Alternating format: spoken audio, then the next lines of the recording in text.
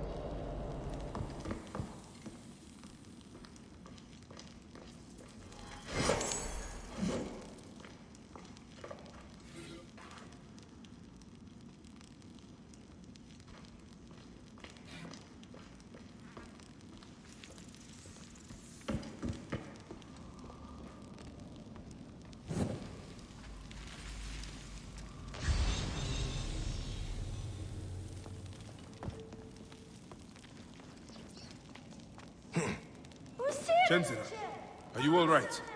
I can't believe you are back. You should not be in here.